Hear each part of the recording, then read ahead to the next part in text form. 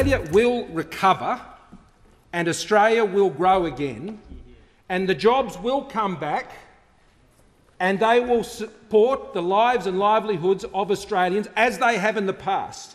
And our plan for that to occur, Mr Speaker, that plan is built on the resilience and the strength and the enterprise of the Australian people.